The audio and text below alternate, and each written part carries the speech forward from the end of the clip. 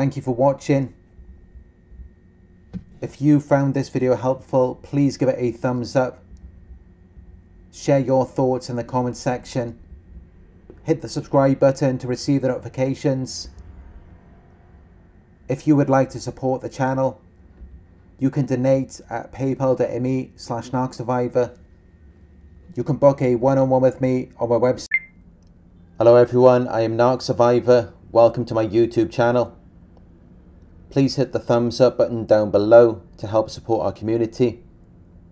Hit subscribe and click all notifications so that you will be notified when I upload a new video. And if you would like to book a one-on-one coaching session with me, just go to my website. It is narcsurvivor.co.uk. A narcissist can't love you because it's no secret that narcissists do not love. If they did, then there wouldn't be all of these narcissistic abuse communities on YouTube. The truth is that a narcissist actually can't love anyone, including themselves. Because a long time ago they made a decision. They felt like their true self was not good enough. So they abandoned their true self and created a false self to take its place instead of loving and accepting themselves. And if they couldn't love or accept themselves, they're never going to love or accept you or anyone else. They created a false self not because they were seeking to be loved, but because they wanted power and control. Because they're opportunists. They exploit circumstances to gain an immediate advantage, rather than being guided by consistent principles because they abandoned their true self, which means that they have no inner sense of value. They can't generate their own power or energy from within, so now they're constantly in survival mode and they're doing anything they can to get ahead. And when you fully realize this, you're never going to see them in the same way.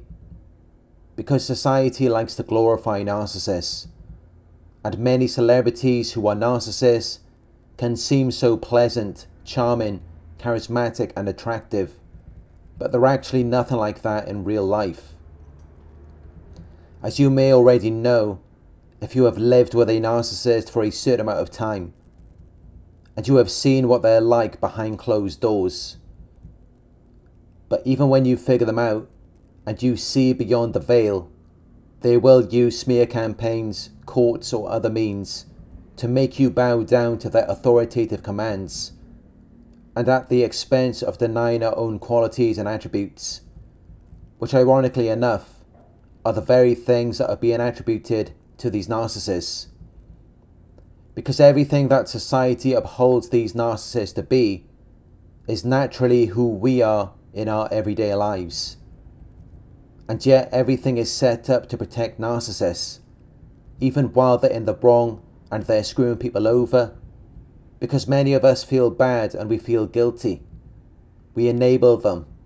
We let them get away with their behaviour when it is not our job to protect narcissists because society protects them enough. The courts protect them, police protect them, the government protects them, and even Hollywood protects narcissists. Everything is gratifying and indulging their immoral and distasteful desires, needs, and habits.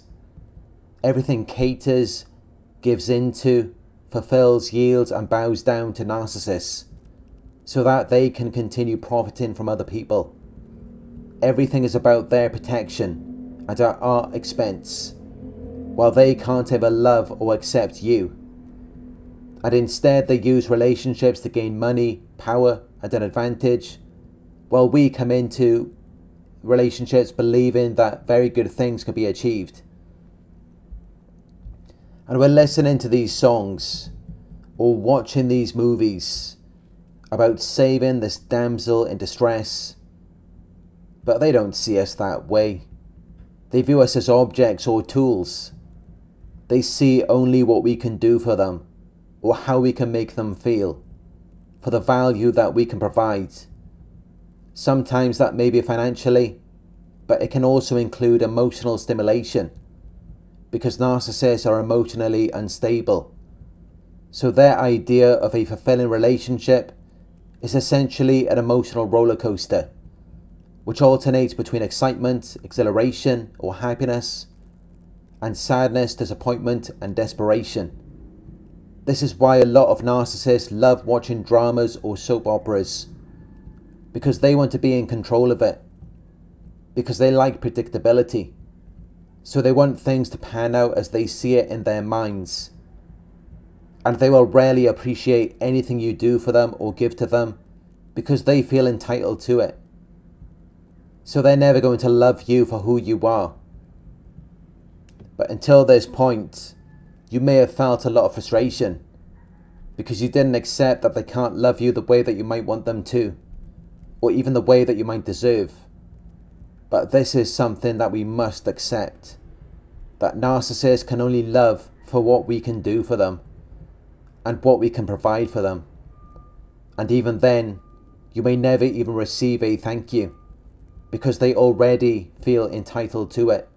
So they're not really grateful, which can be a difficult thing to accept after you've spent all of this time with them.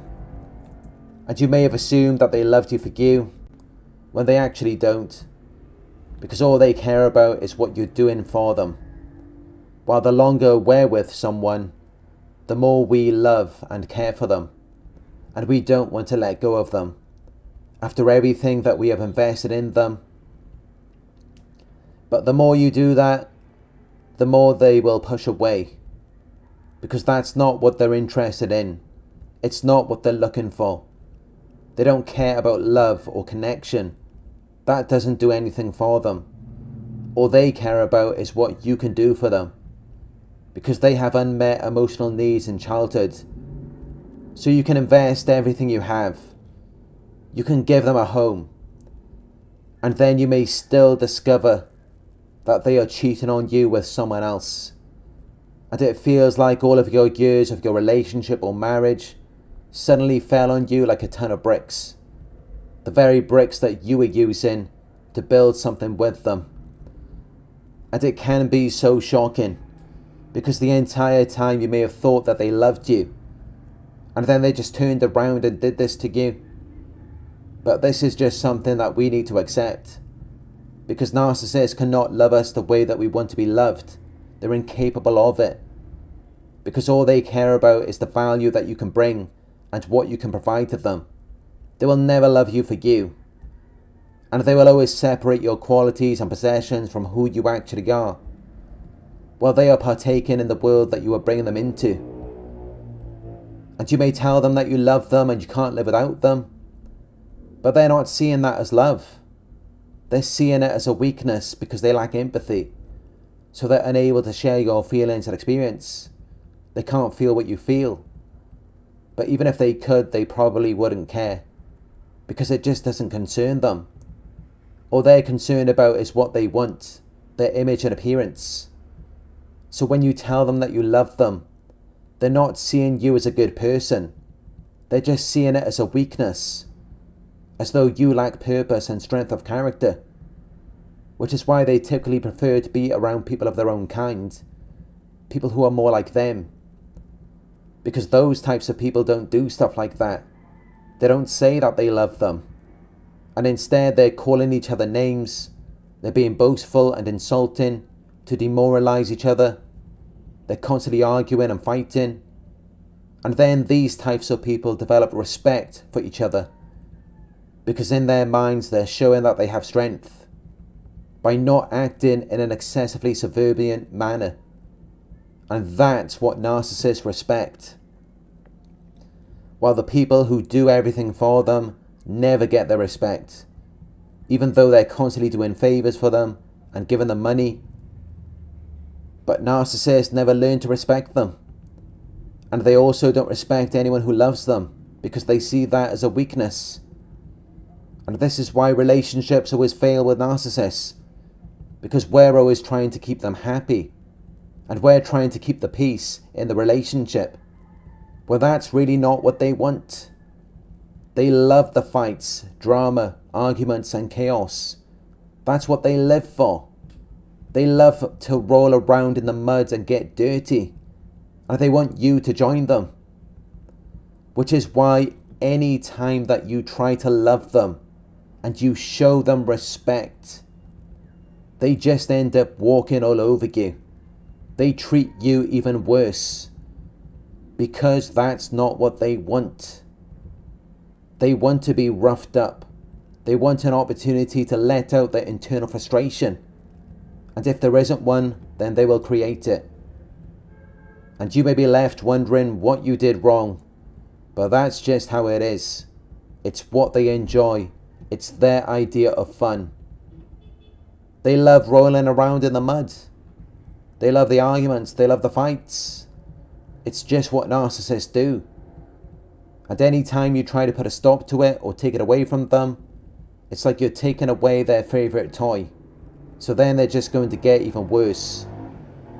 And they will throw temper tantrums because they need that opportunity to vent and just let it out. They need someone who they can use as a vessel for all of their trauma and pain.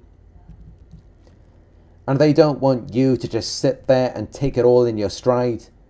They want you to react. They want you to fight back because they just love getting into it.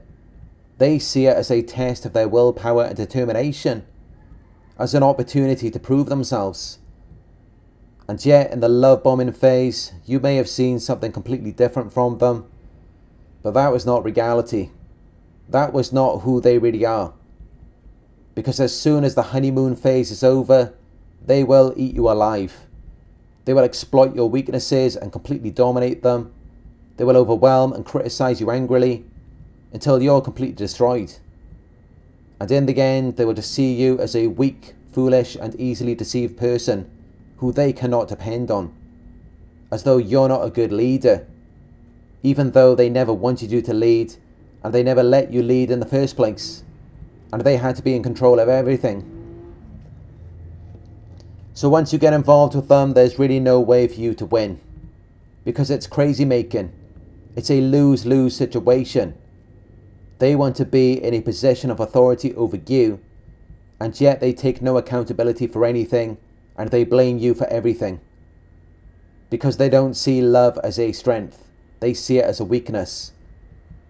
So if you're blindly following them and you're at their beck and call, they're just going to see you as a fool they're not going to be thinking anything about love because they don't even care about that. That's not a concern. And whenever you let a narcissist lead in anything, there's always going to be chaos in your life. Whenever narcissists lead, it violates the natural order of the physical universe because they were never meant to be in charge.